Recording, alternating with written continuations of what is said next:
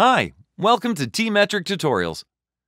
In this video, I'll show you how to easily connect your Zoho CRM workspace to the TMetric Time Tracker. At first, I install the TMetric plugin and configure its settings to enable time tracking for external systems. Now I go to my project in Zoho, select a required task, and see the Start Timer button under the name of the task. Once I click this button, TMetric starts recording my work time. My Zoho project is mapped to the TMetric project, and Zoho tags are automatically assigned to the time entry. The Start Timer button changes to the Stop Timer button, and a corresponding time entry appears in TMetric on the Time page. This time entry can be edited. I can modify its description, change the project, duration, and add more tags.